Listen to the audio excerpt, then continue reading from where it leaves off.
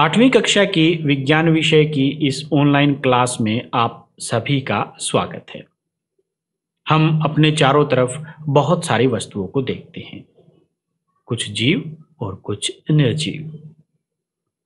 जीवित जंतु प्राणी आदि, वो सारे आकार में बहुत बड़े होते हैं और कुछ आकार में बहुत छोटे होते हैं।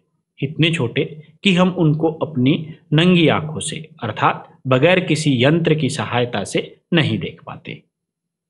उन छोटे छोटे जीवों को देखने के लिए हमें यंत्रों की आवश्यकता पड़ती है। ऐसे छोटे छोटे जीव सूक्ष्म जीव कहलाते हैं। उनको हम सूक्ष्मदर्शी आदि यंत्रों से देख पाते हैं। वो हमारे चारों तरफ़ लगभग हर जगह पे होते हैं। इसके अलावा पिछली कक्षाओं में हमने अनेकों पदार्थों के अपघटन के बारे में पढ़ा। जैसे हम कूड़ा, कचरा आदि, जैसे सब्जियों के छिलके आदि मिट्टी में दबा देते हैं तो कुछ दिन बाद वो अपघटित होकर खाद का रूप धारण कर लेते हैं। सूक्ष्म जीव दही में भी होते हैं। सूक्ष्म जीव आप पानी में भी पा सकते हैं। तालाब का पानी लेकर जब आप उसका निरीक्षण करेंगे तो आपको उसके अंदर अनेकों प्रकार के सूक्ष्म जीव दिखाई देंगे। ये सूक्ष्म जीव कितने प्रकार के होते हैं? सूक्ष्म जीवों को सामान्यतया चार मुख्य वर्गों में बांटा जा सकता है। जीवाणु, कवक प्रोटोजोवा और सैवाल ये कुछ सामान्य सूक्ष्म जीव हैं। इनके चित्र आप अपनी पाठ्यपुस्तक में देख सकते हैं। यहाँ पे यह चित्र स्पाइरल जीवाणु का है। यह एक सूक्ष्म जीव है। यह चित्र छड़नुमा जीवाणु का है। यहाँ पे आप अमीबा और पैरामीशियम सूक्ष्म जीवों को देख सकते हैं। यह स्पाइरोगाइरा है और साथ में एक और सूक्ष्म जीव जो आपको यहाँ पे दिखाई दे रहा है, यह क्लेमाइडोमोनास है। यह सूक्ष्म जीव राइजोपस, ब्रेड मोल्ड के नाम से जानते हैं। यह सूक्ष्म जीव पेनिसिलियम है और यह एस्पर जिलस है। यहाँ पे हमने कुछ सूक्ष्म जीवों के चित्र देखे। इसके अलावा विषाणु भी सूक्ष्म जीव होते हैं। अभी अभी आपने एक विषाणु का नाम सुना है, जिसको कोविड 19 के नाम से जाना गया। इस विषाणु, यानी कि वायरस। वायरस भी सूक्ष्म होते हैं, परंतु ये अन्य सूक्ष्म जीवों से भिन्न हैं। ये केवल परपोषी में ही गुणन करते हैं, अर्थात इन सूक्ष्म जीवों को, जीवाणु, पौधे अथवा जंतु कोशिका में गुणन करते हैं। यहाँ पे ये जो चित्र आपको दिखाई दे रहे हैं, ये विषाणु का चित्र है। यहाँ पे यह एक और विषाणु है। तो यहाँ पे ये दोनों चित्र विषाणुओं के हैं। मनुष्य में कुछ सामान्य रोग, जैसे जुखाम इन्फ्लुएंजा, जिसको फ्लू भी कहते हैं, एवं अधिकतर खांसी विषाणु द्वारा होते हैं। कुछ विशेष रोग, जैसे पोलियो, खसरा भी विषाणु द्वारा होते हैं। और जैसा मैंने अभी आपको बताया कि कोविड 19 की जो महामारी है, वह भी सूक्ष्म जीव एक प्रकार के विषाणु द्वारा ही फैली है। अतिसार एवं मलेरिया, प्रोटोजोआ द्वारा होते हैं। टाइफाइड और टीबी, जिसको क्षय रोग भी कहते हैं, यह जीवाणु द्वारा होते हैं। तो क्या सूक्ष्म जीव हमें सिर्फ़ नुकसान पहुंचाते हैं? या हमें बीमार करते हैं? क्या वो हमारी कोई सहायता नहीं करते? तो इसका उत्तर है नहीं। सूक्ष्म जीव बीमारियों के अलावा हमारे मित्र भी होते हैं। वो हमारी अनेकों कार्यों में सहायता करते हैं। जैसे सूक्ष्म जीवों द्वारा ही दूध को दही में बदला जाता है। इसके अलावा गले सड़े पदार्थों का अपघटन करने में भी वो हमारी सहायता करते हैं, जिससे हम अपने खेत के लिए खाद बना सकते हैं। इस प्रकार के सूक्ष्म जीवों को मित्रवत सूक्ष्म जीव कहा जाता है। प्राचीन काल से ही सूक्ष्म जीवों का उपयोग अल्कोहल बनाने में किया जाता रहा है। पर्यावरण को स्वच्छ रखने के लिए भी इनका उपयोग किया जाता है। उदाहरण के लिए कार्बनिक अवशिष्ट सब्जियों के छिलके जंतु अवशेष विष्ठा इत्यादि का अपघटन जीवाणुओं द्वारा किया जाता है तथा हानि रहित पदार्थ बनते हैं।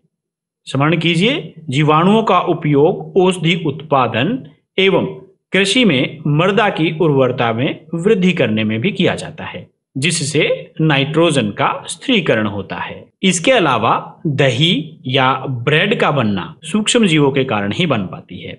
कैसे होता है? आइए इसके बारे में जानते हैं। दही में अनेक सूक्ष्म जीव पाए जाते हैं, जिनमें लैक्टोबेसिल्स नामक जीवाणु प्रमुख है, जो दूध को दही में परिवर्तित कर देता है। वह दूध में जनन कर उसे दही में परिवर्तित कर देते हैं। जीवाणु पनीर, अचार एवं अनेक खाद्य पदार्थों के उत्पादन में सहायक हैं। रवा, जिसको सूजी भी कहते हैं, इडली एवं भटूरे का एक महत्वपूर्ण संगठक दही है। क्या आप अनुमान लगा सकते हैं? ऐसा क्यों है?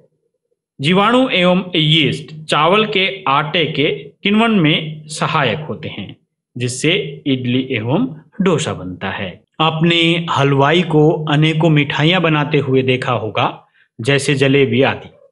वह खमीर द्वारा मैदा को उठाया जाता है। यहाँ पे आप देख सकते हैं यीस्ट पाउडर के साथ मैदा जो मिलाया जाता है, जैसे उसमें मिलाते हैं तो कुछ देर बाद वहाँ पे खमीर उठता है। तो इस तरह से वह फूल जाती है, जिसके कारण कई तरह की मिठाइयाँ और कई प्रकार के खाद्य पदार्थ बनाए जाते हैं। आपकी डबल रोटी भी इसी तरह तरीके से खमीर उठी हुई मैदा की ही बनाई जाती है। यह किस प्रकार बनती है?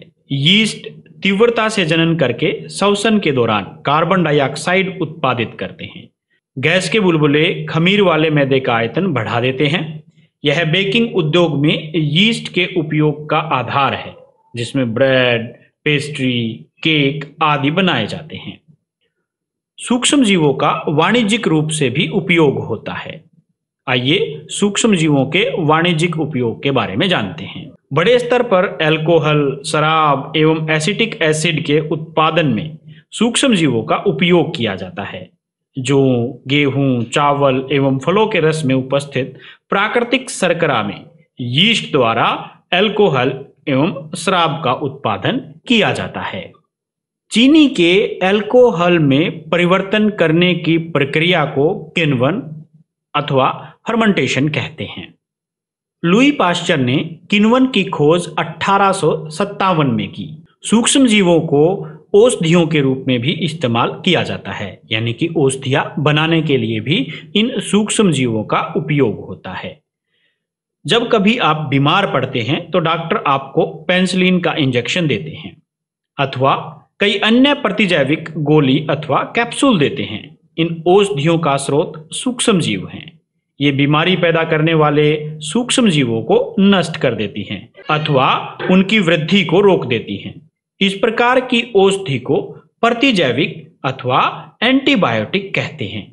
आजकल जीवाणु और कवक से अनेक प्रतिजैविक औषधियों का उत्पादन हो रहा है। स्ट्रेप्टोमाइसिन, टेट्रासाइक्लिन, एरिथ्रोमाइसिन सामान्य रूप से उपयोग की जाने वाली प्रतिजैविक हैं, जिन्हें कवक एवं जीवाणु से उत्पादित किया जाता है। किसी विशिष्ट प्रकार के सूक्ष्म जीव का संवर्धन करके प्रतिजैविक का उत्पादन किया जाता है, जिन्हें अनेक रोगों की चिकित्सा में उपयोग में लाते हैं। इस प्रकार से एंटीबायोटिक्स का निर्माण किस प्रकार शुरू हुआ?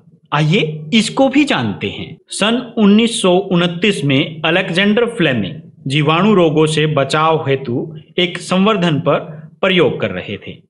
अचानक उन्होंने संवर्धन तस्तरी पर हरे रंग की फफूंद के छोटे बीजाणु देखे। उन्होंने पाया कि यह फफूंद जीवाणु की वृद्धि को रोकते हैं। यह तथ्य पाया कि बहुत सारे जीवाणु फफूंद द्वारा मारे गए। इस प्रकार फफूंद से पेनिसिलिन बनाई गई। पेनिसिलिन आरंभिक एंटीबायोटिक है। जिसको अनेकों प्रकार की बीमारियों के इलाज के लिए उपयोग किया जाता है। इसके अलावा पशु आहार एवं कुक्कुट आहार के अंदर भी प्रतिजैविक मिलाए जाते हैं।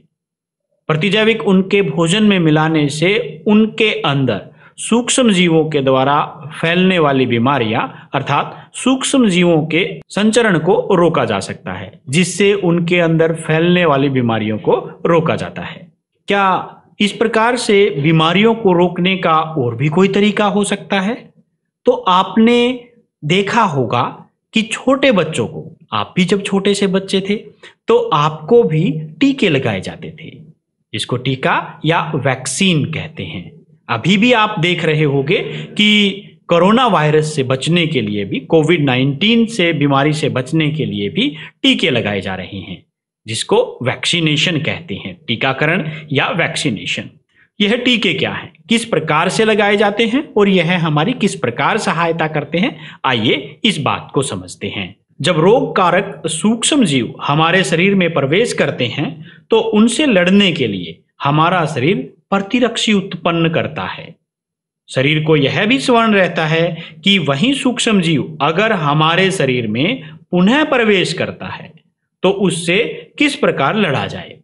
अतः यदि मृत अथवा निष्क्रिय सूक्ष्म जीवों को स्वस्थ व्यक्ति के शरीर में प्रविष्ट कराया जाए तो शरीर की कोशिकाएँ उसी के अनुसार लड़ने के प्रतिरक्षी उत्पन्न करके रोग कारक को नष्ट कर देती हैं। यह प्रतिरक्षी हमारे शरीर में सदा के लिए बनी रहती हैं, तथा रोग कारक सूक्ष्म जीव से हमारी सदा के लिए सुरक्षा होती है। हैजा, क्षय, चेचक हेपेटाइटिस आदि बीमारियों को टीके द्वारा रोका जा सकता है। आजकल भी जैसा आपने अपने चारों तरफ़ या टीवी में, न्यूज़पेपर में या अपने आसपास देखा होगा कि कोविड 19 को रोकने के लिए भी टीकाकरण किया जा रहा है। टीकाकरण का एक बड़ा अभियान अपने भारतवर्ष में भी आपने सुना होगा। वह है पल्स पोलियो। पोलियो की खुराक लगभग हर बच्चे को पाँच साल तक के हर बच्चे को दी जाती है। वो कहावत भी आपने इसके साथ सुनी होगी कि सुरक्षा चक्कर टूटने ना पाए, एक भी बच्चा छूटने ना पाए। वह क्यों? क्योंकि उससे सूक्ष्म जीव, जो कि पोलियो का विषाणु है, उसका संचरण नहीं हो पाएगा और हम उसको समूल नष्ट कर पाएँगे। सूक्ष्म जीव मिट्टी की उर्वरता में भी वृद्धि कर सकते हैं। कुछ जीवाणु एवं नीले हरे शैवाल वायुमंडलीय नाइट्रोजन का स्थिरीकरण कर सकते हैं। इस प्रकार मृदा में नाइट्रोजन का संवर्धन होता है तथा उसकी उर्वरता में वृद्धि होती है। इन्हें सामान्यतया जैविक नाइट्रोजन स्त्रीकारक कहते हैं। आइए इनके चित्र देखते हैं। यहाँ पे यह चित्र नाइट्रोजन स्त्रीकारक साइनोबैक्टीरिया एक नीले हरे सहवाल का है। सूक्ष्म जीव पर्यावरण के शुद्धिकरण में भी हमारी सहायता करते हैं। वह गले, सड़े अथवा अपशिष्ट पदार्थों का अपघटन कर देते हैं, जिसके पश्चात वह मिट्टी में मिल जाते हैं और वो सदा के लिए वहाँ पे नहीं रहते। इस प्रकार से बड़े बड़े कूड़े के ढेरों का भी अपघटन इन सूक्ष्म जीवों द्वारा किया जाता है। जिसकी वजह से हमारा पर्यावरण साफ़ एवं स्वच्छ रहता है। कुछ बड़े पशु, पक्षी आदि जब मर जाते हैं तो वो सड़ने लगते हैं। उनका अपघटन भी सूक्ष्म जीवों द्वारा ही किया जाता है, जिससे वह जल्दी ही मिट्टी में मिल जाते हैं। और इस प्रकार से सूक्ष्म जीव हमारे वातावरण को साफ़ सुथरा रखते हैं। इतने फायदों के साथ साथ कुछ सूक्ष्म जीव हानिकारक भी हैं। हानिकारक सूक्ष्म जीवों के बारे में जानते हैं। सूक्ष्म जीव अनेक प्रकार से हानिकारक हैं। कुछ सूक्ष्म जीव मनुष्य, जंतुओं एवं पौधों में रोग उत्पन्न करते हैं। रोग उत्पन्न करने वाले ऐसे सूक्ष्म जीवों को रोगाणु अथवा रोगजनक कहते हैं। कुछ सूक्ष्म जीव भोजन, कपड़े एवं चमड़े की वस्तुओं को संदूषित कर देते हैं। आइए उनकी इन हानिकारक गतिविधियों को और अधिक जानने का प्रयास करते हैं। मनुष्य में रोग कारक सूक्ष्म जीव। मनुष्य में रोग उत्पन्न करने वाले सूक्ष्म जीव श्वास द्वारा, पेयजल एवं भोजन द्वारा हमारे शरीर में प्रवेश करते हैं। संक्रमित व्यक्ति अथवा जंतु के सीधे संपर्क में आने पर भी रोग का संचरण हो सकता है। सूक्ष्म जीवों द्वारा होने वाले ऐसे रोग जो एक संक्रमित व्यक्ति से दूसरे संक्रमित स्वस्थ व्यक्ति में वायु, जल, भोजन अथवा कायिक संपर्क द्वारा फैलते हैं, संचरणीय रोग कहलाते हैं। इस प्रकार के रोगों के कुछ उदाहरण हैं, हैजा, सामान्य सर्दी जुकाम, चिकन पॉक्स एवं क्षय रोग। जब जुकाम से पीड़ित कोई व्यक्ति छींकता है तो बहुत ही छोटे छोटे सूक्ष्म जीव वायुमंडल में फैल जाते हैं। और जब कोई स्वस्थ व्यक्ति उस वायुमंडल में, उसके आसपास के क्षेत्र में सांस लेता है तो वह सूक्ष्म जीव उस व्यक्ति के अंदर, उसकी क्योंकि वह सांस ले रहा है तो उस व्यक्ति के अंदर प्रवेश कर जाते हैं। और इस प्रकार से एक स्वस्थ व्यक्ति भी बीमार हो जाता है। यानी कि उस बीमार व्यक्ति जिसने छीका, उसकी वजह से सूक्ष्म जीव एक स्वस्थ व्यक्ति के अंदर भी चले गए। कोविड 19 के केस में भी आपने ऐसा ही देखा होगा कि वहाँ पे मास्क लगाने के लिए कहा जाता है। क्यों? क्योंकि वह कुछ सूक्ष्म जीव अगर कोई व्यक्ति छींकता है तो मास्क के कारण वह वायुमंडल में नहीं आ पाएँगे और इस प्रकार वह फैलेंगे नहीं। तो इस प्रकार जब भी छींके तो मुँह के ऊपर रुमाल ज़रूर रखें ताकि वह सूक्ष्म जीव वायुमंडल में ना फैल सकें। कुछ कीट एवं जंतु ऐसे भी हैं जो रोग कारक सूक्ष्म जीवों के रोग वाहक का कार्य करते हैं। घरेलू मक्खी इसका एक उदाहरण है। मक्खी कूड़े एवं जंतु अपशिष्ट पर बैठती है। रोगाणु उसके शरीर से चिपक जाते हैं। जब मक्खी बिना ढके भोजन पर बैठती है तो रोगाणु का स्थानांतरण संभव है। जो भी व्यक्ति ऐसे संदूषित भोजन करेगा, उसके बीमार पड़ने की संभावना है। अतः यह सलाह दी जाती है कि भोजन को सदा ही ढककर रखा जाए, बिना ढके भोजन को खाने से बचना चाहिए। मादा एनाफ्लीज मच्छर इसका अन्य उदाहरण है। मच्छर प्लाज्मोडियम का वाहक है। प्लाज्मोडियम मलेरिया परजीवी है। मादा एडिस मच्छर डेंगू के वायरस का वाहक है। यहाँ पे यह चित्र मादा एनाफ्लीज मच्छर का है। हम मलेरिया अथवा डेंगू के ऊपर नियंत्रण किस प्रकार से कर सकते हैं? आइए जानने का प्रयास करते हैं। सभी मच्छर जल में उत्पन्न होते हैं। हमें पानी को कहीं भी रुका नहीं रहने देना चाहिए। कूलर, टायरों एवं फूलदानों इत्यादि में कहीं भी जल को एकत्र न होने दें। अतः अपने आसपास के स्थानों को स्वच्छ एवं शुष्क रखकर हम मच्छरों को पैदा होने से रोक सकते हैं। ऐसे उपायों की सूची बनाने का प्रयास कीजिए, जिसे अपनाकर मलेरिया को फैलने से रोका जा सके। यह सूची आप अपने चारों तरफ़ जो भी वस्तुएँ हैं, वहाँ पे किस प्रकार से फैल सकता है, उनको देखते हुए बनाने का प्रयास कीजिए। मनुष्य में होने वाले कुछ अन्य सामान्य रोग उनके फैलने और रोकने के उपायों के लिए भी एक सारणी आपकी पाठ्य पुस्तक में दी हुई है।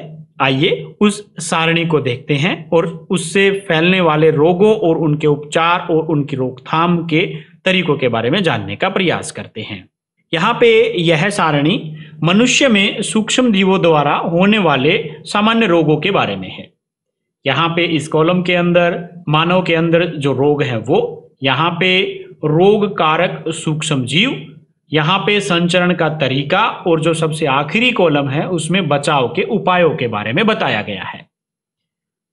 यहाँ पे मानव रोग, जिसमें क्षय रोग, खसरा चिकन पॉक्स पोलियो, ये सभी रोग हैं।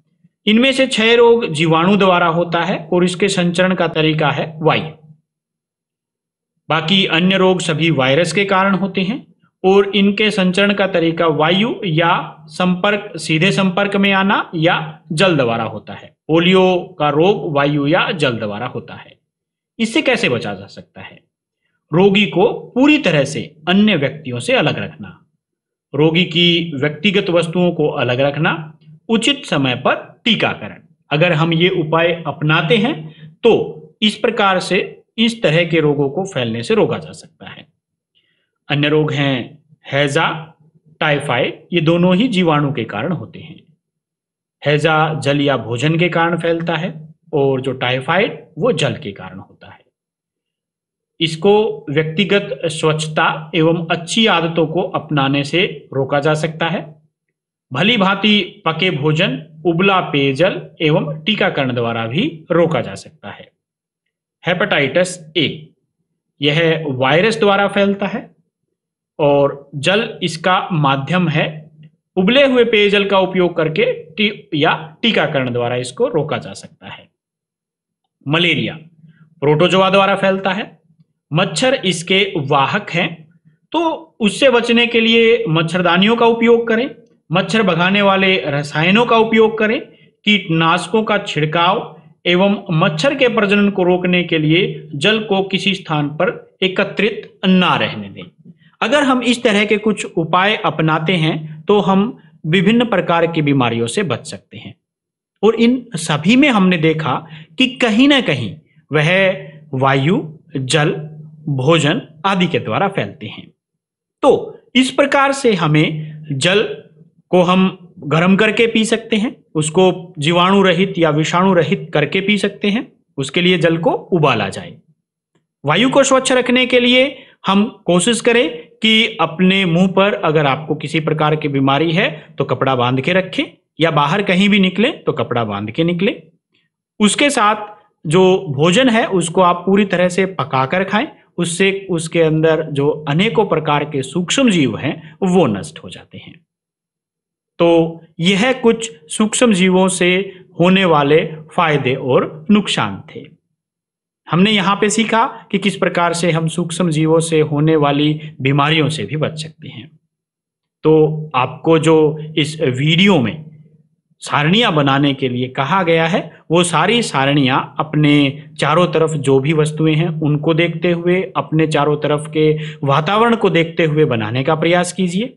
और अंततः जो आपको अंत में सारणी समझाई गई है, इसको अपने मित्रों, अपने परिचितों अपने परिवार के सदस्यों के साथ भी साझा करें ताकि वो भी इस प्रकार की बीमारियों से बच सकें।